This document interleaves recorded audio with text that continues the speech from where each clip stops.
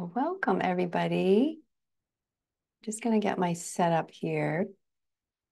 All the windows oriented appropriately.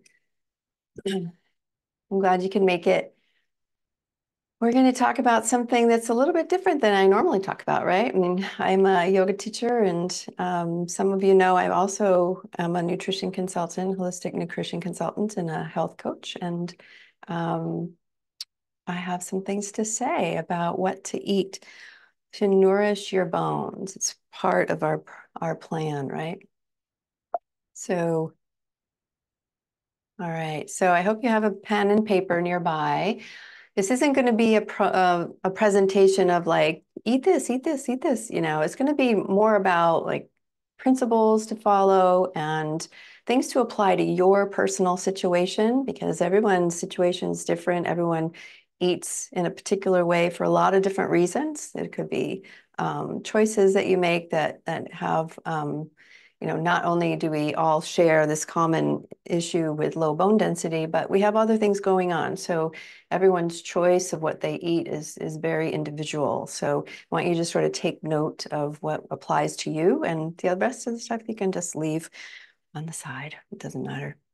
Um, and if you have questions, since I'm doing this on my own, what I'd appreciate is we're going to have time at the end for questions. So if you can just hold your questions till the end, um, maybe write them down on the piece of paper, and then you know we can you know put them in the chat at the end, and I'll be able to see them better. If they come in during the whole presentation, I'll lose track of them.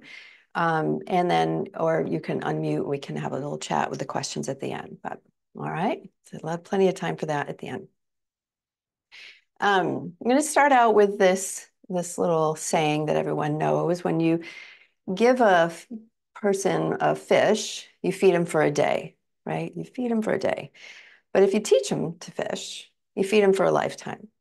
But I bet you that if I gave you a can of sardines, that I wouldn't even feed you for a day, right? Even if I told you that it was, was filled with calcium, right? We all know we need to have more calcium. Sardines are, are one of the highest levels of, of calcium, especially if they have the bones in them. Um, but it's it's not going to work for you sometimes. You know, some people may absolutely love them, but we're told like we have to make our bones strong. Like we're then the calcium is going to make it strong, and we get kind of this this very minimalistic nutrition advice from our doctors. When we get our DEXA scan it'll say okay increase your calcium your vitamin D and do a little weight training. It's really basic and very cookie cutter right? Very cookie cutter.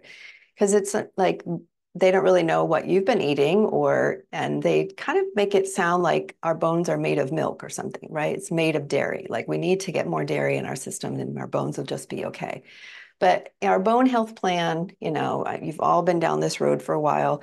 It's it's going to take some time to envision it, you know, figure out what your goal is, and then make that plan. There's certain steps that you're going to take in your bone health plan, right? And of course, it's made up of a lot of different pieces. We have the exercise piece, which is really paramount. We have to remind our bones that they need to be strong. Um, we have the nutrition part. We need to nourish them. We need to nourish them. And that's with the, you know, both of these two pieces I think are pretty tricky because you know the exercise depends on your current capability and you can grow to be stronger and more flexible and have all this stuff. Same with nutrition. There's sort of a baseline we have to attain and then we can go from there. So um, and then the other pieces might be a big piece of it is self-care. I'm going to just sort of loop it up into self-care because stress, of course, can be really detrimental to our bones. Um, and and sometimes medicine is necessary. So there's a lot of pieces to this puzzle of our bone health plan right? But we know that we're also more than just our bones. We have a whole ecosystem inside of us and things are are at a certain you know there's just so many levels to who we are as a human being. And so many things are are bringing it brought into our system and they nourish a lot of different things in our body not just our bones right? So you pretty much everybody on the call will know that i am a, a yoga teacher i'm a yoga therapist and i've been practicing yoga since my daughter was young and she'll be 34 this this year and i've been teaching since 2009 and I'm learning a lot from from my yoga practice, from the yoga teachings about how we have to address the individual no matter what. We are all, you know, we're all this same human species, but we are individuals. So this comes back and back. This is sort of a recurring theme and in how I teach. Like we can all have group classes, but I want you to tune into what's appropriate for you, right? And a few years ago, um, I, I had a day job as, as an editor in a publishing company, but I went to school for nutrition, mainly because my, my, my um, brother was had cancer at the time and they were not helping him with cancer with nutrition. And anyway long story that's a whole other thing. But anyway i went to nutrition school went to bauman college and learned about nutrition um, from a holistic standpoint meaning i wasn't going to go down the road of becoming a registered dietitian and have to do all this calculation and work for the, the government standards i wanted to know how do you really nourish yourself and and that also led me into taking some functional medicine training as a health coach and taking some training through the Applied School of Functional Medicine um, on bone health and gut health. And so there's always sort of this trail that led us to this point. And so sometimes instead of just dealing with this current moment, you have to go back in history a little bit and kind of collect the dots or, or, or connect the dots is what I want to say and and figure out what can we do to kind of shift things going forward, right? And then, of course, when I um, found out I had low bone density, I went down the path of how does this really apply to bone health? You know, I'm a Bone Health and Osteoporosis Foundation ambassador. I took the Bone Fit training. So I'm applying this all to our bones, right? But also knowing that our bones are, are a piece of us. And, and there's a, this whole other system that we're trying to also affect. So at Bauman College, this was their schematic for eating for health. It was really super applicable to everyone. So this is sort of the foundation for eating for health, like basic health. We want to have this, the, the outer circle is about hydrating your system, right? We all know we need to bring some pure water or juices or herbal teas or mineral broths like that's like just bringing hydration into our system is a big big piece of it. And and then of course fruits and vegetables and unrefined starches. And then that yellow thing is about like these extra pieces that can boost the nutrients in your in your system and, and in the foods that you eat through spices and seaweed that has a lot of minerals and nutritional yeast and algae. And some of these things may be pretty foreign to what you normally eat, right? What you've been brought up to. But protein is sort of at the core. We all need uh, a, a, significant amount of protein for the lasting energy and to build tissue. And then seeds and oils, like the fats, the fats, like targeting the fats is really important. So I like really liked their, you know, Dr. Bauman, he put this together and I thought that was a really good way of envisioning like, is this the foundation of, of, of what I'm eating right now? Am I attaining a certain level of health, let alone feeding our bones, which we'll get to that. But am I attaining this piece of it, right? Because if we're not attaining that, then what I was learning in school and and you know we see on the headlines like it, it your body reacts to things that are not appropriate to it or if it's not getting the nutrition that it needs and chronic inflammation occurs with the body kind of just fighting off toxins or you know different bacteria or whatever like there's things that happen in the body that create chronic inflammation and, and it can be the precursor to a lot of different diseases which osteopenia and osteoporosis are are one of them so I want you to get your piece of paper out right now and a pen, and, and we're going to go through these guidelines. And there's 10 items that are sort of principles to follow. And I, you know, many of you are probably doing 10 out of 10 here, but then think about it in a scale, because I think there's something that we can all do that is is a, a refinement of what we do. Um, I hope you can come away with a few, few little nuggets from here, but let's go one by one, and you can put a little check mark or a number by it, like are you really 100% doing this or maybe 50 50, that kind of thing? Just sort of get a baseline of what you're doing. So the first one, increase your intake of seasonal, organic, unrefined, meaning fresh, local foods. And then we made this little acronym soul food, right? So, how often are you intaking these foods in your day and your week? Um, do you get thrown off base for different things? Just kind of get a sense of that. That's sort of the basics of, a, of, a, of the nutrition that we need, right? Drinking plenty of purified water, herbal tea each day. So, and then, you know, minimizing that caffeine. So those two and three kind of go hand in hand. Some people will sort of rely on that caffeine for energy. You know, maybe one cup in the morning is fine, you know, but if you're in the afternoon when you have that lull and there's, you take the caffeine, which I did for years. You can also think from that functional medicine standpoint, like, okay, you're doing this now, but what did you do back in the day, you know, when you were in your 20s or something? Like, um, I know I drank way too much coffee in my 20s, but anyway, so kind of keep your your tab on on how you're doing with this.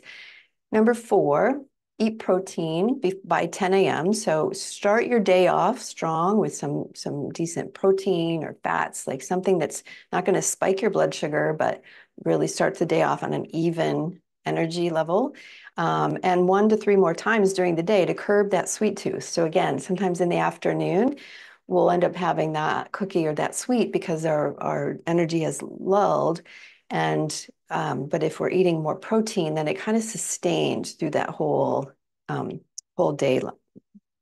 Um, and then number five, decreasing your intake of refined and artificial sugars, right? White flour products, unnatural fats and added hormones, preservatives, colors, antibiotics. Well, this is what Dr. Bauman would call nutrition bandits. They're going to just take up space in your caloric intake and not give you much nutrition. So kind of judge, you know, sometimes, you know, we're we're not all perfect. We're all going to sometimes have that whatever, you know. Like even last night, I was here in LA. I went to In-N-Out Burger. I have to when I'm here, right? So, you know, that kind of thing. It's like, what are you doing like like most of the time. Number six, diversify sources of proteins, fats, and carbohydrates. So eating a variety of foods. How are you in a in a rut, like you're eating the same thing over and over and over, um, that kind of thing. Um, and then next one would be eating more. Now think about this: eating more monosaturated, unsaturated, rather monounsaturated fats like olive oil, avocado, almonds, than the saturated fats, animal, dairy, coconut, or polyunsaturated, the seed oils. It doesn't say avoid all seed oils, right? It doesn't say that. It doesn't say, it just says eat more of the monounsaturated because those are the omega-3s and less of the other ones that are omega-6s because we want a ratio. We can really easily in our standard American diet get the, the non-ones um, and I just want to remind you, if you missed the beginning, I'm asking you to hold your questions till the end because I won't be able to see them at the end um, as we go along. Um, and I'll and I might lose them in the chat. So hold your questions and we'll um, you can put them in the chat later. Okay. All right. So the so the the ratio of your questions are or your oils is important. Um, and then decrease your consumption of gluten containing grains and to prevent digestive disturbance and inflammation. This is a good, good one to think about. Many of us have found that either we've had undiagnosed celiac, which is a, a reason that we've become osteoporotic or one of the contributing factors, um, or we're just gluten insensitive. It really causes a lot of inflammation or gut gut disturbances, because everybody actually has uh, a response to gluten.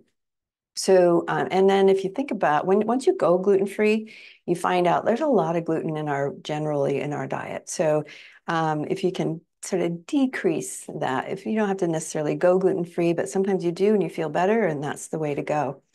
Um, and then, of course, eat three portions of vegetables in a meal to one serving of protein and one serving of fat. And we're going to talk about these kinds of sort of dictated percentages and serving size and things like that. And that's where it gets a little bit tricky because these are, um, it's like, what's a serving size and what's my portion of it? What, what makes me feel full and that kind of thing.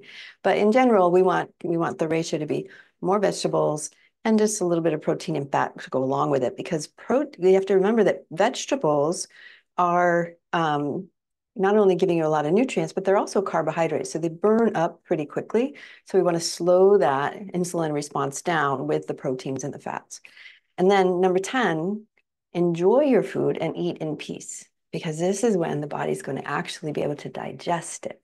This is one thing I learned in school. They were talking, you know, about all these things we should eat, da, da, da, and time and time again, the teacher would say, yeah, but if you're stressed, you're not going to be absorbing any of that. You're not going to be digesting that. You'll be if you're eating on the run or anything like that, like you're you're not giving your body that time to digest it, which we'll talk about a little bit more. Okay. So here's some more keys. So I hope you sort of took note of that, but here's some other things sort of the general gist of like, we want to eat well every day. It's kind of a, a no-brainer. If you're well, to, if we can eat well every day, that's going to have a positive effect on our health maintaining a positive attitude. And this goes back to sort of thinking about the yoga piece of it. Like we're maintaining a positive attitude, a lightness in our heart, and we're stretching and moving and breathing deeply throughout the day. So, you know, holistic nutrition wants to think about you know how we're we're in our body. And the moving and the stretching is helpful for motility helping the the food go down into the the intestinal system and all that. So we're helping the the body digest and absorb by just moving and breathing and moving through the the lymphatic system as well. So cleansing the body. Um, and connecting with your own true self with others through service spiritual practice or love of life and being a lifelong learner. So there's there's this sense like there's nutritional sciences, and then holistic nutrition is more about that sort of biopsychosocial spiritual approach to our health. And um, to me, I just sum it up from that yoga piece of me is that it's uh, body, mind, and spirit, right? So I would sit in these classes and think, okay, so yoga and nutrition really go hand in hand. Like you, you need something you know, whether it's yoga or some other practice that keeps you grounded and in this sort of rest and digest state um, and and you need to be nourishing yourself and being aware of what's right for you. Like some people will say a lot of times my my private clients will say i eat healthy. I'm sure you do. And then we go through it and there's some things that we need to finesse or there's some some headlines that they read and they think okay if i'm doing this i'm eating healthy. But it ends up that that may be triggering something in their system. So it's a little bit it's a little bit about having your own self knowledge about what's appropriate for you um, but I've I'm learning more and more that it's especially for your bones because first of all, I want to clarify for some people who um, that yoga is more than just an exercise program. You might think, okay, my yoga class or my yoga that, but yoga is really, yes, it's a class. And what we're infusing in those classes is this philosophy of life where we're, you know, we're moving, we're breathing, we're meditating, we're focusing our mind um, on the present moment so that we're not um, you know, we're not um, we're not reacting to things around us, we're responding. This is a slight difference, right? Calming the mind, we're steadying all the systems in the body. We're helping the body, which always wants to stay in a state of homeostasis, um, you know, with the pH levels are very, very tightly regulated, all this stuff. Yoga is going to be helping with that because the point is to keep the mind and the body in the present moment and not in the past or the future, right? So we live life more in that rest and digest state. The nervous system is, is calm. Now we think of the, the digestive system as this kind of track through our body. We start out with the mouth and it comes down to the stomach and it goes through the intestinal system and there's a lot of fluids and things that come in to help break down the foods and but I want to open up your your perspective on what the digestive system is by thinking about the beginning of it is is actually in the senses, right? So um, smell, what we smell our food, when we smell our food, it's like Pavlov's dog, we'll start to maybe salivate, right? So we're not taking the time to smell, or if you've ever been sick and you can't smell and food tastes really badly, you know, so it's uh, so smell is a piece of the digestive system because it starts the body going, oh, we're going to have something really delicious coming in pretty soon. You know, sight, how does your food look? You know, if something doesn't look appetizing, your body's going to go, mm, we're, we really not really don't want that coming into our system. But you know, so sight is part of it also to get the process starting to go. Touch. Now you can think about it like, what does it feel like in your hands? But also, what does it feel like in your mouth? Right? The the the the what do they call that? The mouth feel of a food, right? Like sometimes it's a texture thing that makes you want to eat a food or not. And this will have an effect on are you stimulating the digestive system at the onset, right? Hearing, like if you're cooking and you're hearing it sizzle or, you know, things like that, like, you know, and and also hearing in the sense that if you're in a an environment that's really loud or you're, there's stuff coming in, you can think about all these senses are also taking in information from the environment. So if you're in a quiet place, then again, the body can be, okay, we're in a safe, quiet place, you know, kind of going back to um, thinking about it sort of an anthropological way, like thinking about um, you know, we're safe, we can digest, we can sit down here for a moment, and of course, taste. So as soon as it comes into your mouth, is it tasting right? And is the, you take time to chew your food, right? Because then the other end of the digestive system, so that's the beginning, all the senses, and the other end isn't just that when it comes and eliminates from your body, but we think that there's digestion all the way through your body every tissue has a digestive system and it goes all the way to the cells. So we want to have that time. We want to have really good sleep patterns so we can have that sort of micro digestion happening at a time where you're taking in, uh, you know, taking in nutrients on a cellular level and also um, uh, eliminating waste on a cellular level. And during your sleep is mostly when that happens, right? So uh, a sister uh, science of yoga, some of you know about Ayurveda, talks about um, how the nourishment comes into our body and it goes through these seven dhatus. So it goes off to the, the left-hand side, whoops. And the first tissue is our plasma, and then it goes into our blood and our muscle, and then our fat. It actually nourishes into our fat because we need fat in our body to hold nutrients, hold some of the the vitamins that we need for other other processes in our body. Then it hits our bone and cartilage and it goes into what's in our bones the nerves and the bone marrow and then eventually the reproductive system. So they envision the body digesting in, the, in, th in through these seven dhatus they're called. So when you nourish your body deeply you're nourishing your bones right? So this is a different mindset than that um, sort of Western medical, oh, just take calcium and vitamin D. No, we want to nourish our body so our bones are not um, in that fight or flight stage and offloading is, you know, calcium. They want to have time to, to be strong and steady and take in the nutrients. Because this whole process, the Ayurveda practitioners say, that the teachings of Ayurveda say, this whole thing would take about 35 days to get to the very end of this this road.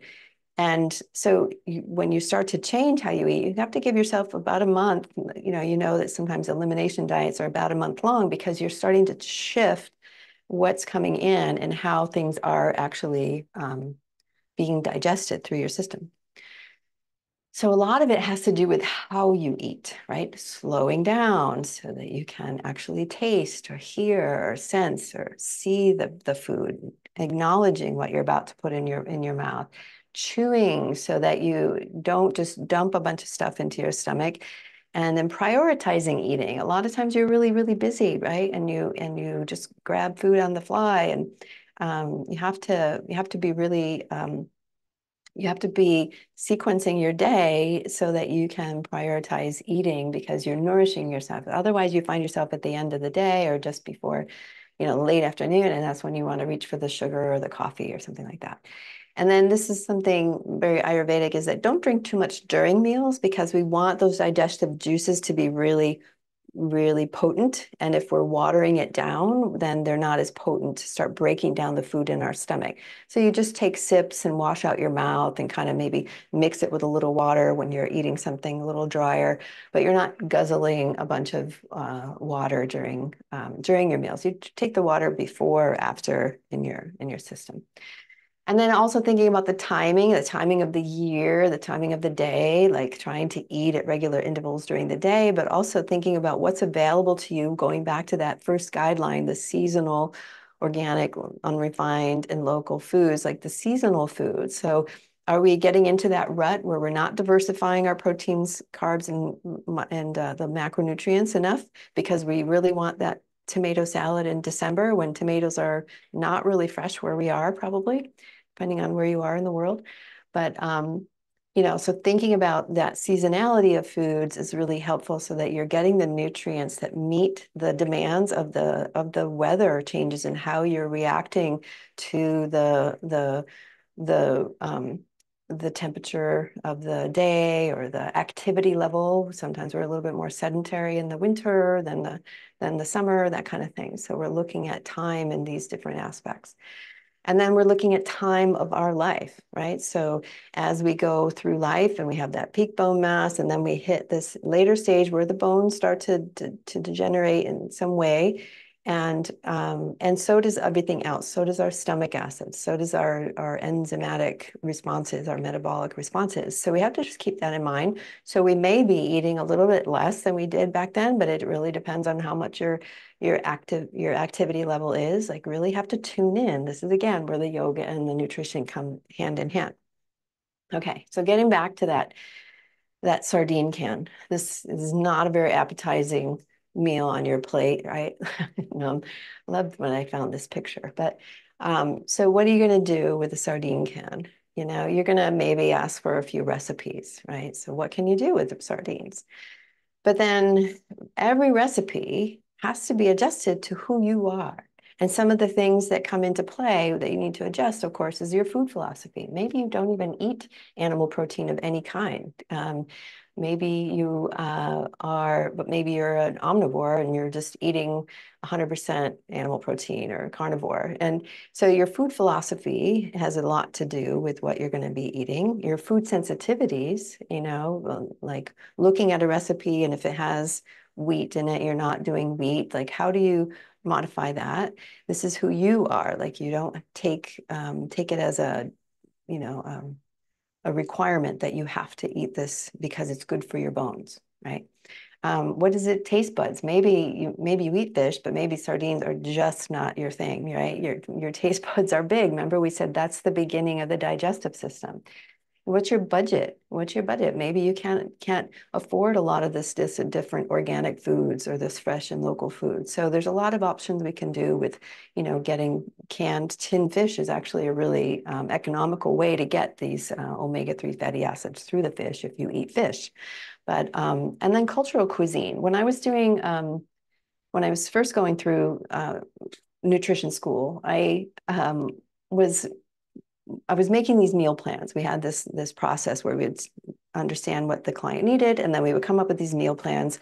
And the the choices that I would put together for these meal plans were were just based on my cultural knowledge and what I would normally cook. And I started realizing like this is not appropriate for some of the people that I'm working with. And we would co-create like how they would make things because you know, I, I grew up on, my heritage is Irish and German and English. So I had like meat, potato, vegetable kind of setups on my, on my plate versus something else that, you know, someone, good friend of mine, Gauri, she's Indian, like her foods are, are a melange of beautiful, beautiful ingredients. So this cultural cuisine is going to have you um, sort of sort out how do you put this, these principles into play based on what you are, are more inclined to eat. And then, of course, your desire or ability to cook. A lot of people are don't want to cook anymore, or they just don't don't have the desire. But going back to prioritizing eating, how are you going to sort of manage that? Like the desire and ability to cook, there's a lot of workarounds. I work when I work with private clients, we talk about meal prep or or um, things, getting things at the store that are already sort of pre-cut or something like that. Although um, we can also go into the realm of like sometimes chopping vegetables for for dinner and listening to a podcast or something can be part of the ritual, the ritual of eating, right? So you know you can work on that. Um, and sometimes just teaching people how to cook again that teaching people how to fish is is a, a way to go but then we you know you may all know this right you know all this stuff is probably nothing new for you but but the but then you get thrown this diagnosis of osteoporosis and what do you do like you're looking at this this bone density scan and you're imagining these bones on the right hand side that are starting to thin on the outside and starting to break down on the inside and you're like what do I do? They tell me to eat calcium. So then you go searching on the internet, right? You go, oh gosh, you go searching on the internet. You don't even rely on your, what you know already on this, right? You go down a rabbit hole, right? I've been there. I know this too, right? And you listen to people on Facebook pages and you you go, I don't you get a lot of information. You should be eating this. And then you start learning it's not just calcium and and vitamin D, it's something called boron and then it's silicon. And people are saying you really have to get the phosphorus, right? And then magnesium, that's a big one too. Like you start getting all this information and it's it's a lot in your hand, right? you feel like you're empowered, but it's just a little bit overwhelming, right? And you come back with a lot more questions you know what about this how do i get that where is this so then you luckily, there's some people on the internet and uh, particularly on Instagram, they make things look really simple. They make these beautiful charts and things like the most popular vitamins or the top 10 this for your bones, or they make it look really simple and you'll get this list. And then my question is always like top 10 of vitamins for who? Who is going to be, who is going to be actually eating this and, and how do you get that? But what the problem is, um, you know, these when we're looking at these servings that we're supposed to get, this is um, from Bauman College, like eating for health serving chart. You look at your daily servings on the uh, on the left hand side and the serving side size in the middle there, and then examples of the foods that you would get. This is all food based, but there's ranges. See, those daily servings are ranges, two to three servings of seeds and oils, two to four servings of protein. And then they give you examples. What's a serving? Three ounces of animal protein, six ounces of vegetable, one cup of leafy vegetables. You know, so this is, you can start to collect this information and start to look at what you're eating and but then again get a little little wonky when you think about the protein intake they say is 0.7 to 1 gram of protein per pound of body weight per day okay so put on your math hat and you start to calculate okay first of all what's a gram we don't always know what grams are. So in parentheses here, I have 4.5 to 6 ounces of protein daily. But then they add these sort of caveats because they realize it's not, not this isn't a, a prescription for one person. There's a range. They've given you a range. So, but if you are physically active or over 30, you should aim for the higher end because you need more protein to keep yourself going. But then less active people need the lower end. So what if you're less active, but you're over 30? this is why it gets a little bit crazy when people give you these things. But, but when I work with someone one-on-one, we can, we always um, work this out based on what, what their situation is. Anyway, and we also, uh, you know, we'll start to start calculating this. And some people are really good and big on calculating this. And I don't want to say good, actually. I want to just say that that's, that's their jam. They really want to calculate it all. But that can get a little bit more in your mind, right? Like, I, you know, you start to um, get a little bit uh, more focused on calculating it than anything else, right? Um, but I do, when I work with somebody privately, we usually do at least three days just to see, like I'm asking you right now, just take a, take a note about what you're eating. Um, and there's a really good calculator, I have to say. The Bone Health and Osteoporosis Foundation has this simple calcium calculator because it's even when you're calculating and even when you have all of this stuff down and you really understand it, it's really not 100% accurate, right? I want you to know that because it'll give you a gist of it. You can be taking in all the right foods. Remember, you can take in all the right foods, but if you're not digesting it correctly, it's not going to get absorbed and it's not going to take that time to get all the way to the bones. So there's a, you know, there's something about this knowledge. Yes, take it in. Now work on the other pieces of the bone health plan, the self-care, the exercise, right? And maybe the medications. Because otherwise, when you're looking at so hard at the at these nutrition facts, you start to think of all of your meals in this in this way, right? And then you start saying, well, if I need magnesium or if I need boron or if I need silicon, I need to, I don't know how to get that. So I'm just going to, they tell me I need X amount of this in my diet. I'm going to take a supplement. So then you go down the supplement rat hole and you start taking supplements and you start like not thinking about all the stuff that you're getting in your food. A lot of times I'm actually weaning people off their supplements because they're actually eating a really good, diverse food in their diet. So it, um, Michael Pollan wrote a book in defense of food. He wrote a couple books, Omnivore's Dilemma and that kind of thing. But in defense of food, he brings up this concept of nutritionism. Now, nutritionism is, and according to Wikipedia, is a paradigm that assumes that it is the scientifically identified nutrients in the foods that determine the value of individual foodstuffs in the diet. So eating this apple is just about what they have calculated in these nutrition facts. But that's not true, right? And the Institute of Functional Medicine puts it a different way because food is more than nutrition. We believe it's essential to have optimal amounts of these nutrients and to be nourished through the power of yum. The joy of cooking and eating and the courage to be creative while increasing control of our food supply and meal preparation. So nourish through the power of yum, right? So there's, you know, there's a lot of confusion. I'm hoping we're hoping we're closing the door on confusion and kind of wandering into the path and through the door of clarity in this in this presentation. Because what I want to do is step away from the supplements and I want to open it up so that we can talk more about food. Food first, right? Because food is where all of the the nutrients are, right? And um, we can learn more about food and about cooking and about how we can nourish our own self, right?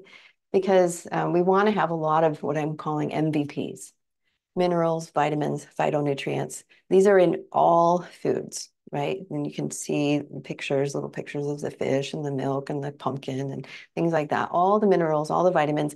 And then the phytonutrients, there's like 25,000 phytonutrients that are identified by nutrition scientists. Um, there are things like, you know, resveratrol or isoflavones, that, that, kind of thing. You might have heard those words.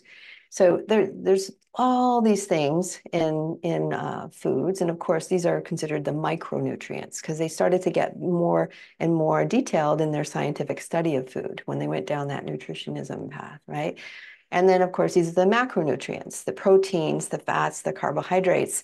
And um, it's it used to be like separated out and i want to highlight that they are uh, overlapping right so cheese can have fat and protein you know nuts can have carbohydrates and fats so you can keep this in mind um, I love this because this image in particular is pretty cool to me because the carbohydrates, as you see, are vegetables and fruits, and they don't have bread in there, right? So they, they oftentimes we are just sort of like in this picture, the carbs on the top are is the bread and the pasta and the rice. And of course, those are carbohydrates. The grains are that. But we have to know that we can also bring in not only these macronutrients, but fiber.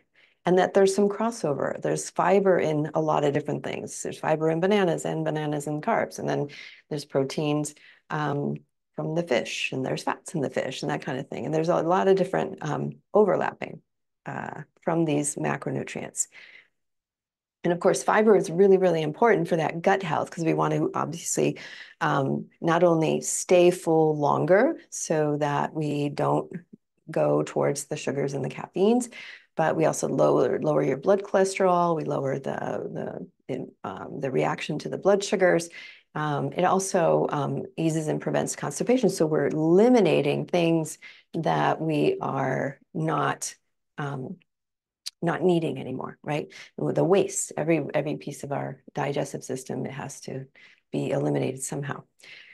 So gut health is really big. Gut health is really big, not only for our bones, but um, for, because of the metabolic health, but also the immune health, because the bones are the ones that make our immune system, right? The bone marrow is making uh, immune cells. Um, it also, gut health will help us with sleeping so that we are digesting all that deep, deep, deep, deep, deep micro digestion down to our, down to our bones and beyond. Um, mental health, like if we're uncomfortable, if we ever have a stomach ache, this very rarely, we say stomach ache, but it's very rarely that we put our hand where our stomach really is, which is just below our rib cage you know, maybe after Thanksgiving dinner or something like that, like a big dinner, it'll we'll think, whoa, we really filled that stomach a lot. Usually, when we say we have a stomach ache, our hand kind of goes down around our belly button, and that's like that's happening in the small intestine and the, and the large intestine area. So something's kind of gone awry in that digestive piece. So gut health is a piece that's really important on on uh, understanding your health. Um, you know, because all disease, uh, Hippocrates says, all disease begins in your gut. So getting back to the functional medicine concept of the power of yum, how how do we increase the power of yum? Like really grab hold of it and and have fun with it. And what I share with my clients is we're just think about it without any measurement. You know, we've already measured, we see sort of this baseline where you are. Now let's eat the rainbow. Now, what does that mean? So what I want you to do in the chat, I want you to think about your favorite foods that are green. So in the chat, you can start to write a few things in the chat about what are your favorite foods in the green that are in the green. You can see some on the screen. Maybe you really like, um, you know, basil or avocados or something. So go ahead and write in the chat. Do y'all know where the chat is? You can go ahead in the chat. Yeah, bok choy and arugula. Those are great. Yeah, thanks, Julie. Broccoli, lovely. Avocado, broccoli, edamame, yep, lovely. These are all these things. All of it, Ellie says, yeah. Favorite foods are avocados and zucchini, Michelle says. And avocado, broccoli, kale. Kale's wonderful. We have lots of Brussels sprouts. Yeah. No kale. okay. Yeah, see, again, you have your taste buds or you have your, to me, when I was growing up, kale was um, a, a decoration on the plate at the restaurant. We didn't eat curly kale. Like it was just, you know, on the plate. Cucumbers and peas, wonderful. Yeah. Swiss chard, you're seeing, love it. Yes. So these are some of the greens that we can bring. So if we're thinking about the, the um, eating for the rainbow, we can think about, oh, wait, what are these greens that we can bring in? Green foods. Cucumbers are really, really good and in lots of micronutrients, and they're really um, seasonal right now, right? Okay, so let me get back here. How about reds? How about reds and pinks? You can start to see microgreens, Cynthia says, with the greens. How about reds? Purples, you can start to see how pretty it looks with the green too, right? Raspberries, yeah, this time of year. Tomatoes, this time of year, perfect. Yeah. Tomatoes only in season. I know they're terrible when they're not in season, right? They don't taste very good at all. And I'm not a big tomato fan, but I, I do like them when they're in season. Pomegranates, yes, really good for you. Red peppers, lovely. Strawberries, tomatoes and carrots. You can see them right here. The orange, like even like in this picture, there's oranges. Now, like think about, yeah, grapefruits, oranges and yellows and browns and what, what other foods? Think about more foods that have color that you really like. What are some of your favorites in these realms? Beets, love beets. And they're all different colors of beets too, right? Lots of different colors. Radishes, persimmons, ooh, yes in a certain time of year, right? They really come out. Oranges, red cabbage. Yeah. And you can make some nice fermented stuff with red cabbage. Red onions, radishes, cabbage. Love it. In the oils. Okay. And then the oranges, thinking more on the oranges. And, and, you know, and we had a lot, these pictures were things that I got, and they were just beautiful pictures of food. And and they didn't have a whole lot of animal protein in them, but they have this one with salmon in here. So like thinking about like if you're eating red meat or other meat, like that's also a color and it has different different nutrients. If you're eating meat, it has different nutrients, different colored meats. But see how it just makes a really pretty rainbow of food that you can be ingesting and learning how to cook. You know, beans are a particularly um, nutritious piece of our diet that aren't really used that often because they're difficult to cook. But you can get canned beans, that kind of thing. Uh, a brand called Eden is really good. Um, and then uh, one thing I want to point out is like we have to remember the herbs and spices. We have to remember the herbs and spices. Look at how colorful these herbs and spices are. That's their herbs and spices are plant foods. So the more we add herbs and spices to our food, they also have these phytonutrients, a lot of different, different um, elements within the phytonutrients that are going to help to digest our food. They're going to add micronutrients. So as, as creative as we can get with adding these beautiful herbs and spices, either in the dried form or the fresh form, um, they're going to be helpful in our diet, right? And, you know, because again, like they, there's all these sort of ideas of how to break up your plate yeah, parsley and basil, turmeric. Oh yeah, cumin, paprika. Love that. Yeah, the things that you kind of go to, right?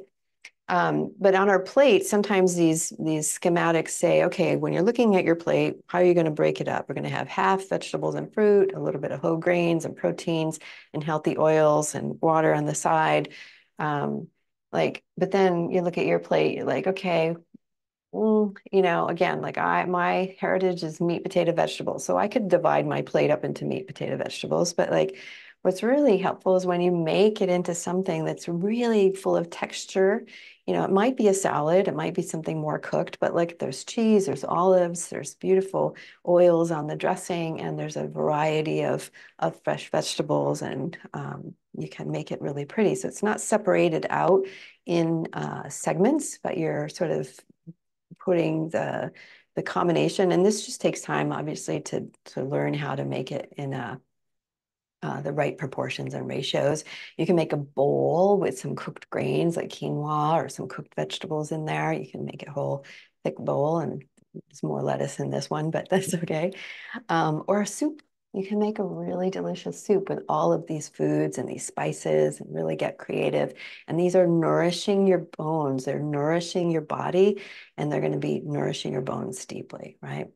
Um, and then it can even just be a sandwich, right? Whether it's a wheat um, toast or it can be a gluten-free toast, but like, look at how pretty this sandwich is. It doesn't have to be anything super fancy.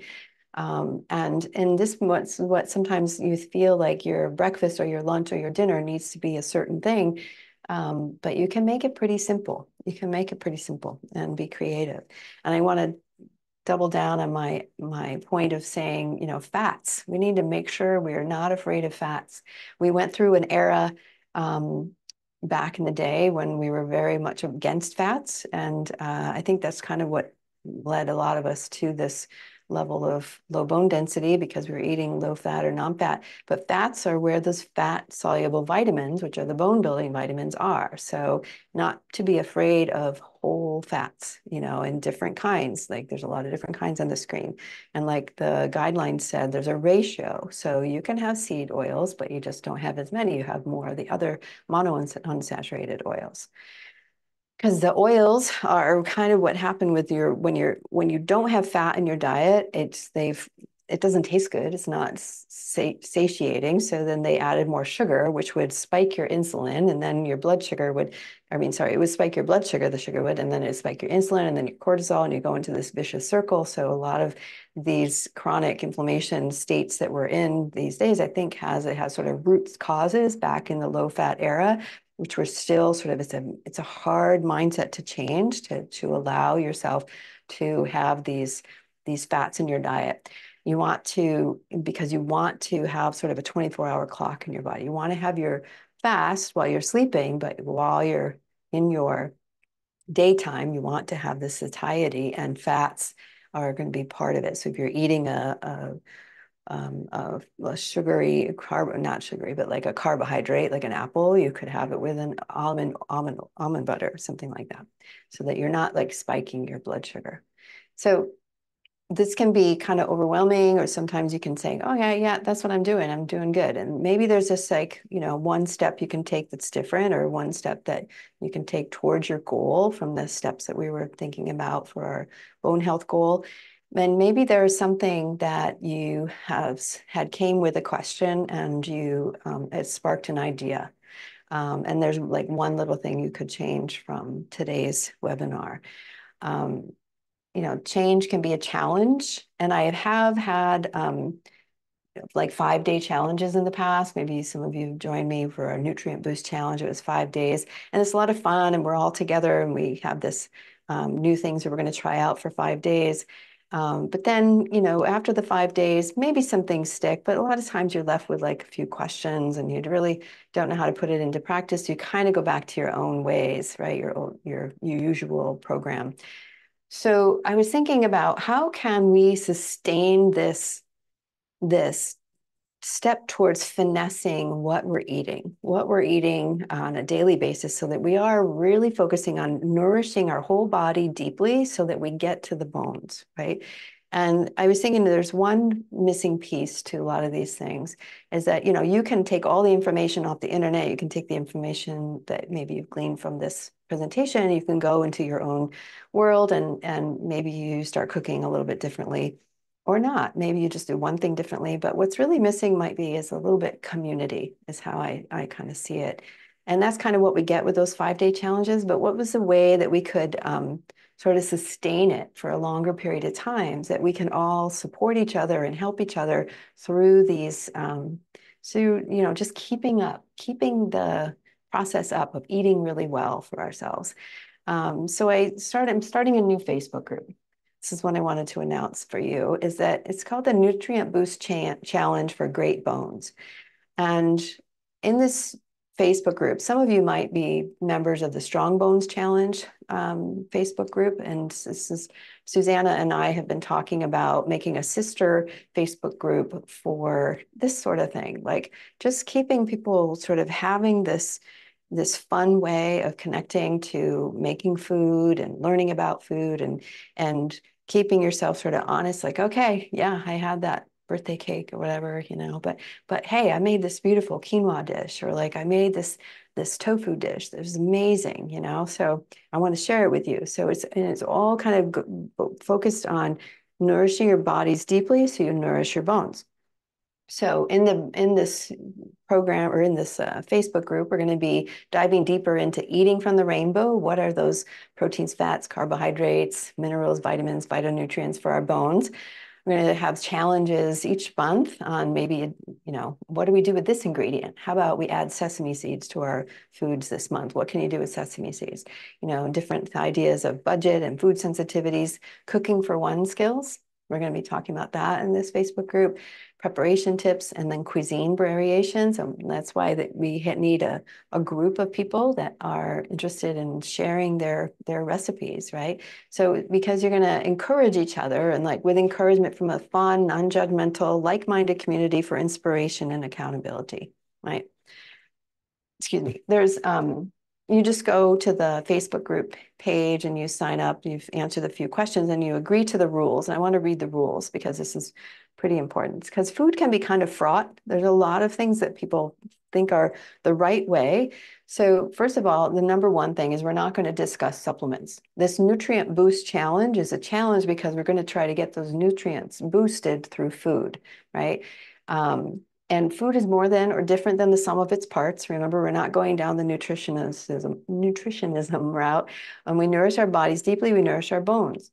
Number two, we support a wide variety of food philosophies. We're going to be open and caring, whether you are vegan, vegetarian, omnivore, or whatever. There's no one diet that serves the needs of everyone firmly believe that.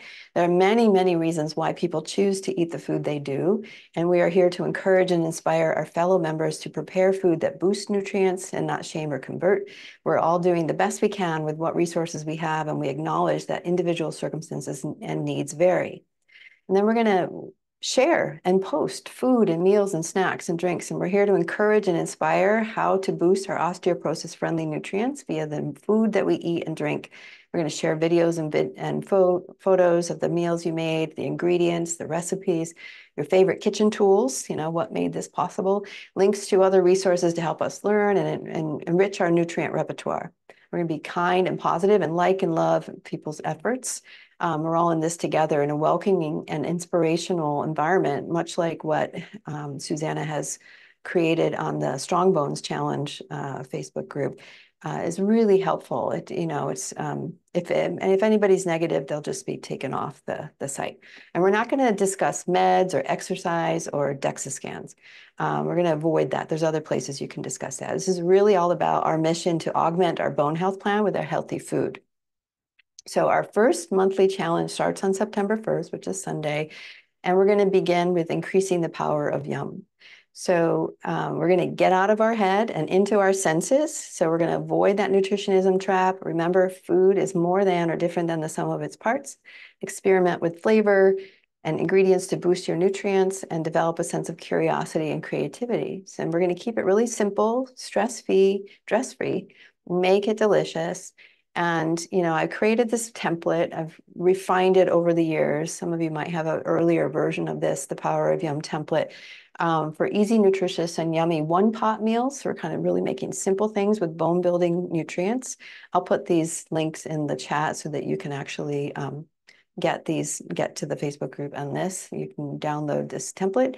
The template has a, also helps people learn how to build these one-pot meals. And if you're not a meat eater, like step three is adding meat to the pan, you'd either skip it or you add a, an alternative protein that might work in this, but it's just about how you build up the flavor in your in your in your one pot meals.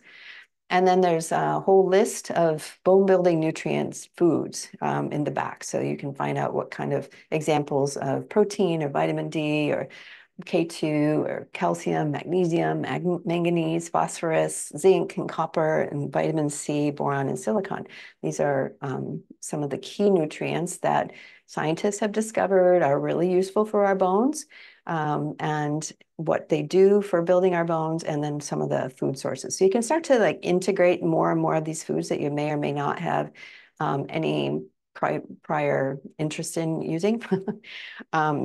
so we're quick and easy, yummy, um, and holistic. You're going to nourish your senses, nourish your body deeply, nourish your bones, and get this power of yum right? So two steps from this webinar, you're going to first get the Power of Yum template, because I know not everybody's going to want to join the Facebook group. Some people just are not on Facebook, so that's fine. But you can get the Power of template and take it from there, like the, the knowledge that I'm hoping, hoping to inspire from this webinar, and and see where it goes. And then you can join the Nutrient Boost Challenge with this um, with this link. All right, so I am going to, all right, stop the share, time for questions. I'm going to first put in the, in the, this is a very different screen that I'm used to. Sorry. I'm going to put these in there. Some of you already signed up. Okay. All right. So here is the link to the power of yum. Whoops. Didn't mean to just send that to you. There's the link to the power of yum. And then here is the link to the Facebook page. And I did see some questions early on, and so I'm going to scroll back. Um, Judy asks, what, what are your thoughts of pure stevia and protein powders if it does not increase a person's craving for sugar? Yeah, stevia is a, a you know a natural sugar, uh, a plant-based sugar. Um, if it does not increase a person's craving for sugar, I think that's fine. Sometimes it's about mouth feel, right? Um, if they say no, usually if they say no added sugar, they're putting some other kind of fake sugar in there anyway. So it's all about taste. Um, what about canola oil? Canola oil is an interesting one. You know, it's so many times, I, I want to actually do a an interview with a chef someday because so many times you'll see um, you'll see uh, res or uh, what do you want to call it like cooking shows or something and then the recipe calls for canola oil that's really common for um, for a lot of recipes um, I think it's just because it's a neutral oil but what I've kind of gone away is gone away from canola oil and gone more, to more towards something like avocado oil it's a little bit more on the neutral side that's what I would prefer, Cynthia. Okay, so let me see. Any other questions coming in?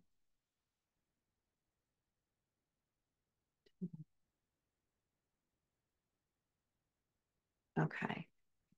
This says the new Facebook group sounds great. Hope you join comment on natto. Cynthia asked about natto. I tend to use it for K2. That's amazing that you're using it because that is a very that's a one that not would not check the boxes on a lot of people's to-do list. You know, um, natto is fermented soybean, and it you have to. Sometimes you're lucky enough to actually um, uh, live near a place that has, uh, you know, a, a, store that would hold it. Otherwise, you have to order it online and it comes to you. But um, I think it's great. I think it's if you can eat it, um, it's it's another thing to just sort of add in. You know, you you just rotate it in, and you're getting that. So other other sources of K two are grass fed um, meats and and uh, butters and things like that, where, where the grass, because vitamin K we're taking in from our vegetables, and then we have to convert it to K2, and our, our conversion process is really kind of minimal on that level. Um, so the ruminants, the cows, are eating the grass, and they have the two stomach um, conversion thing. So when we're eating the byproduct of that, the, the meat proteins, then we're getting the K2 a little bit more on a bioavailable uh, level. So that's that's that. Um, okay, can you talk about the issue of oxalates that many calcium-rich vegetables have, which reduce the absorption of calcium in those vegetables, like beets and Swiss chard and spinach? Yes. This is another one that, like, this is where the internet, whoa, internet explodes. You know, that book comes out about don't eat, you know, oxalates, it's terrible for your body. Some people are super, super sensitive to oxalates and they will get kidney stones and things like that. Um, most of the time, if you're cooking it, you're breaking it down enough that you're you're you're combining it with other things, and they are saying now, you know, the scientists are trying to get it right. They're trying to find out how do we do this? How do we do this? And they'll say, oh, well, now they're saying that the oxalates are only restricting the calcium of that item. So if you have chard, maybe you're not getting the calcium from the chard, but if you're eating it with a dairy product or something, and then that dairy that dairy calcium is going to come in, it's not going to mimic that. That's what I've read recently. But um, uh, so if you're just eating vegetables and you're trying to get the calcium from that, like it's um, eating things like arugula or something that's less oxalate is going to be helpful too. But cooking is always going to break down them to an extent, and you probably will be able to um, to uh, uh, absorb it. Again, you're going back to how robust is your own your own uh, gut health, that kind of thing. Does that help, Joan? You can you can unmute if you want to. Yeah, yeah. I mean, it's yeah. It's like it's they don't really know is the answer. I guess I was just wondering what your what your thoughts are on it because yeah, right, exactly. Because I started eating dairy, which I didn't do for a long time for just that reason because I so so I don't know, and it's very hard to tell whether you're absorbing it or not. Mean, you have blood tests and urine tests and so forth, but you know, um, but yeah.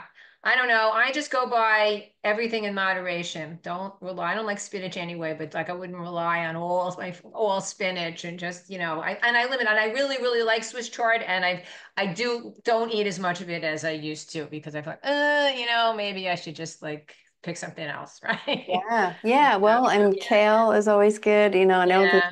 earlier said they didn't like kale, like, but yeah. Yeah, everything in moderation, I guess. You just have to, right? Don't eliminate anything, but don't become overly dependent on anything either, I guess, you know. Exactly. What are you going to do? You have to eat, you know, so. Right. Exactly, exactly. And then these new headlines just make us scared of another thing, right? So if we're making it a variety and we're, and I think, you know, adding the right spices, we're helping to the body to digest it, right? And that's the key. It'll break it down because they don't really know. They, how, how could they really know? What is right. happening for you in your body. Maureen's doing um, natto. She's exploring recipes. Yeah, maybe we'll have a challenge on natto. Hmm. uh, yeah, no, flat out. Um, uh, about Jarlsberg cheese. Is it a superior cheese for our bones compared to others? Oh, that's a really good question. So yeah, I've seen lists of uh, of K2 in particular, and it names particular cheeses. I, I once joke like, oh, then you're actually going to be um, doing it. Sindhu, you have a comment on Jarlsberg? Yeah, go ahead. Thank you. Um, I'm trying to look for raise hand. It's not showing. yeah, but first of all, thank you so much for bringing in Ayurveda in your lecture today, and everything was so wonderful. Thank you. Um, two questions. First is, I know uh, we are not talking about the supplements here. Uh, still, it just came to my mind, you know, since we talked about uh, sardine, right? Uh, so fish oil capsules, um, are they any good? First thing. Second question is, um, before the norm was chewing 20, 32 times, right? 30, 32 times you chew uh -huh. the, the morsel, right? But now I have heard this is a new one for me, you know, come, uh, bringing it down to 20, 20 times, not uh, from 32. So uh, uh I don't know, is it uh, because of time crunch? Of course, that we know, but then again, we are just reducing the quality of the the, the food that we are intaking. So this right. Was, Right. So two questions for you. And I want I thought you had something to add to my comment about Ellie's Jarlsberg question. So I'm going to an answer Ellie's question about Jarlsberg and then answer your two questions. So Jarlsberg cheese, um, brie cheese, uh, Gouda cheese are all listed as um, good for K2 input. Again, I think it has to do, and it probably also depends on where you're getting it from. If you're getting it from like those beautiful Irish fields of cows, like, you know, milk from that, like that'll have a lot more K2. But yeah, there's certain ways, I don't know enough about cheese production to understand why it has more of K2, but there are certain cheeses that um, are on the list that are better for your bones, you know. So that, does that answer your question, Ellie? Okay, good. And then for the fish oil supplements, that is um there's there's a organization called consumerlabs.com and you can uh, you know be a member of it for nominal fee for the for the year. I'm i'm a member of it. I've learned a lot from it. it's kind of like consumer reports but it's for um, supplements and things. And they do they study and they'll they'll test certain supplements and they often will do the thing on fish supplements. So one you have to worry about with fish supplements is sometimes it can be um, uh, rancid, like some of if they're not well taken care of, or it can be full of things like mercury, depending on how they're sourcing it. So um, I can't remember the blue pastures. I think it's green pastures, blue pastures. There's a there's a um, there's a brand of fish supplement that I um, have used in the past, and I really like it. So I would have say that that would be just find the the highest quality if you're not a fish eater and you just want to get those those oils in there.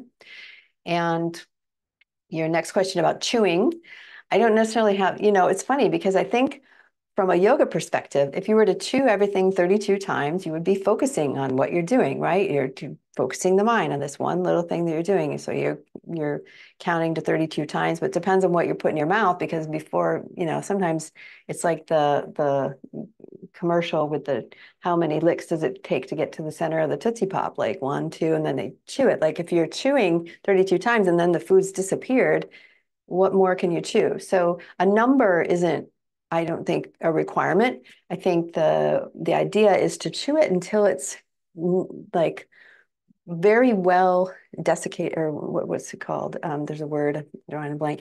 Very well uh, masticated. That's the word, and and then it goes into your body, into your into your um, stomach, and it's more easily broken down. So that's really the goal. Because if you're chewing on if you're a meat eater and you're chewing like a steak, it might take way more than 32 to, to fit that, right? Um, and if you're eating pasta, it might dis disappear in your mouth in two seconds. So that there's no, I don't think there's a dictated number. Thank you for clarifying that. Uh, yeah, it, it does make sense. You know, pasta, maybe three, four bites is okay. And then, yeah, chewing on meat uh, probably will take more than that. Yes, thank you. Thank you for that. Yeah, yeah, good, good.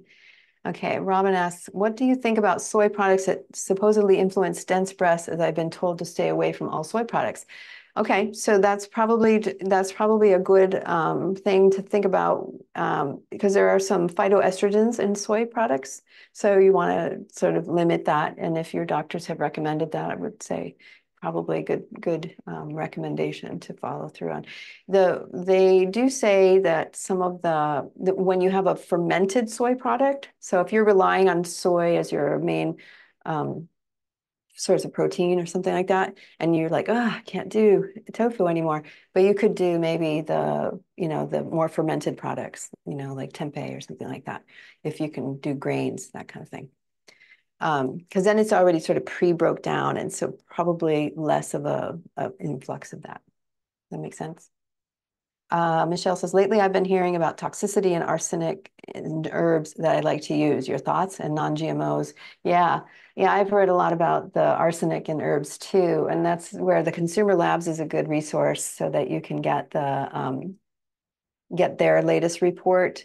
Um, there's there's things that we just cannot eliminate from our life here on earth right um, so i mean if you're eating like a pile of parsley that's full of arsenic you know like let's get away from that right? Like let's just have a little bit of you know bits of it. Maybe you get your you have a i don't know if i don't think you have the ability to have a garden where you are but you could well you could you could have probably have a little like herb garden you know and you have your soil tested and you're you're building your own. Because the, these these um uh, heavy metals come from the soil, right? So if you're growing, if you have that control, that's one thing the functional medicine group was saying was like, if you have control over some of your own food uh, production, then do that. Um, non-GMOs, I'm on the fence about that. I'm, I, I want to have my food as unadulterated as possible, but I also have some friends who are are in that world of and they try to argue with me like there's nothing wrong with it. So i don't know. I don't want to go down that route. It's kind of a, a fraught issue. But if you can get something as simplified and clear and and um, un unprocessed as possible, I think that's good. Uh, roll of nuts for protein, yeah, nuts, but I would have have you soak them and dry them so that they've broken down the outer outer side of it so that they're more easily digested. So soaking nuts overnight, it depends on the nut, but usually like an almond, you would soak them overnight, um, rinse them off in the morning and then put them in a low oven and then um, until they're crispy, or you could use them soaked and put them in your um, oatmeal or whatever you're eating in the morning right then, or make your nuts. But that's going to help because, like, think about your nuts and seeds are little little plants to begin with, and they're protecting all of the nutrients of building into a plant themselves. So um, we want to break down that outer shell. Does that make sense? Would grinding them substitute for that? Not really, not really, but. Mm. Mm, mm, I mean, I yeah, I eat a lot of nuts and I was doing that. And I was actually, because I don't have a dehydrator, I was using the oven. I was concerned that the oven was hotter than a dehydrator. And so I didn't know if, even if I put it on warm and I leave it on 24 hours, the Oh, other part was that um, walnuts are fine like that, but pecans and almonds, they lose flavor and then I don't want to eat them. Yeah, I still have yeah. in my refrigerator, like are probably three, five months old that I got, you know, Well, it's good that you're keeping them in your refrigerator because they will get like stale or yeah, oxidated. no, I don't. Yeah, I So, keep, no. yeah, yeah. I wouldn't really, you know, you can, I, what I do is I grind them after I've soaked them and stuff so that they have a different texture or something like that. So I still do the soaking and, and drying and maybe we'll do a little, we'll do a little, um, workshop on that, soaking Oh, you and peanuts. I eat a lot of peanuts. Is that all right? They're le legumes. They're legumes. They're not nuts. They're yeah. So that's good. It's a good sense of protein. They can um you get a good good quality uh, peanut because sometimes they can have a lot of mold attached to them, but um but that's something to think about. Do you have a particular brand that you like? I just get it at the health food store, you know. Yeah, that's probably bulk. good. Yeah, Okay. that's probably good. Thanks. Cynthia says it took me a few weeks, but I've learned to really like natto. Ooh, you're going to be our expert in natto then. But I like beans too. Okay. And Joan says it's also an issue of the amount of calcium in the cheese. Harder cheeses are better in that regard. Yes, that's right. So you can, you know what I've gotten to do? My husband doesn't eat cheese, so we don't put a lot of cheese into things, but I got some Parmesan cheese and then I keep it in the freezer because it'll just get moldy from the little that I eat, how fast we do it. But um, I keep it in the freezer and then I'll sprinkle it on my omelet or, you know, just add it or boost it. So that's what you'll learn in the Power of Yum handout is how to boost these nutrients, like just adding some sesame seeds or adding a sprinkle of Parmesan cheese, like just adding these things in, in above the, it boosts the flavor, it boosts the nutrients, right? Um, Kathy says, love the new Facebook group idea. I'm in. Do you have a cookbook you love? Oh, so many cookbooks, right? And it's, you know, I still go to the internet too to look for a quick, if I have something I need to cook. And I'm like, how, how long do I have to cook that? Um, what do I, I don't really have a favorite one because I just love them all. um, but I find that, you know, that could be something we could do on Facebook is sharing the books that we like, you know, like, because I think there's a lot out there. I've learned a lot from Samin Nosrat and her Salt, Fat, Acid, Heat. That's a really great book where you're actually learning to cook. And she's um, you know, learning how to uh, use these, um, the salt, the fat, the acid, the heat. She also did a Netflix show on that, on a book, but she's a, a great resource. Um, and Ottolenghi is a good cookbook author. He's a chef in England. Um, he's got a, some books called Plenty and uh, something else. There's several, several that he has but are beautiful cookbooks too. And I used to be in publishing, so I really like the books as objects. So like I can just pore over a book. That's really nice. Um, soaking nuts also reduces oxalates. Yes, that's what I'm getting on the outside of the of the um, nuts. Yeah, important for almonds. Yep. Thank you for this wonderful Umnar. Get back to work. All right. Can you repeat the books? Um, so the Ottolenghi is a is a cookbook author. The the book is called Plenty. That's the one book that I can remember, and he has a bunch of other cookbooks. And then Salt, Fat, Acid, Heat is the other one by Samin Nosrat. Those two. All right. Any other questions? We're past our time, so thanks for hanging in there, those of you who stayed. You can un unmute if it's taken too long to write. But You motivated me, so you inspired right. me. I'd really, I'm a person that keeps avoiding cooking, so and I was looking at everything and you it was so engaging. The webinar was totally engaging and it got me like, oh my God, I'm really actually interested in this again. So Right?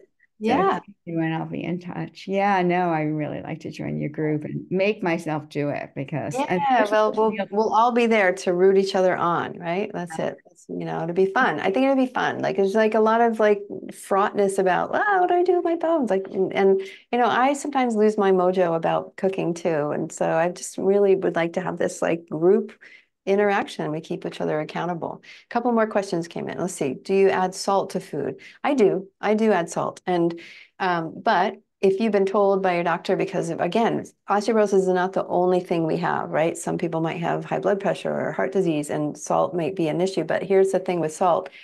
When they say lower the salt, they're talking about so sodium in particular. And what really happens is that people are eating a lot of processed foods. There's a lot of added sodium to those things. If you are eating more fresh foods and you're adding salt for flavor, you're adding way less salt than you would in the in the manufactured food. And if you're adding a salt like a like a Celtic sea salt or Himalayan sea salt, something more of a minerals rich salt, then you're getting more than just the sodium.